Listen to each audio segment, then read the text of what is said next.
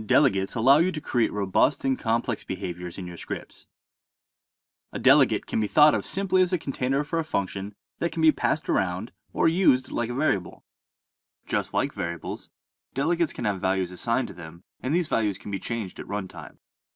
The difference is that while variables contain data, delegates contain functions.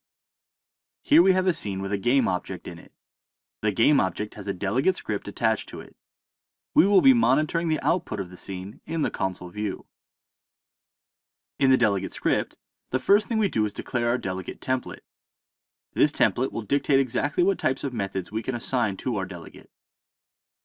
We create a delegate with the delegate keyword. What follows the delegate keyword is the delegate's signature.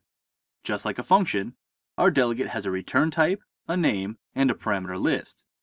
In this example, we can see that in order for a method to be assigned to this delegate, it must have a return type of void and take a single integer parameter.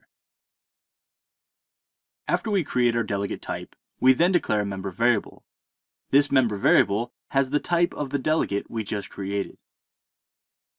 At the bottom of our script, we have two methods, printNum and doubleNum. We can see that each of these methods has a return type of void and takes a single integer parameter, just like our delegate.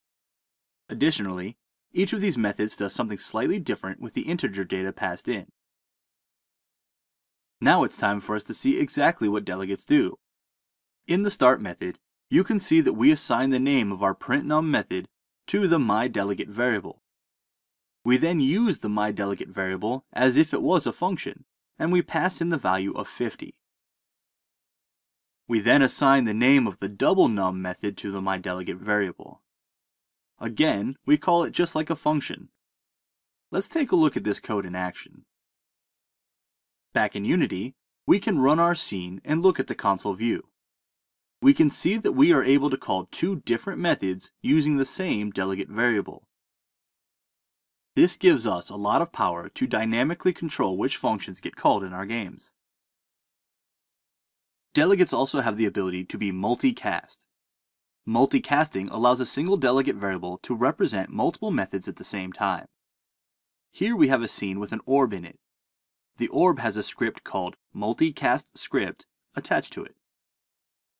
In our multicast script, we can see that we have created a delegate template.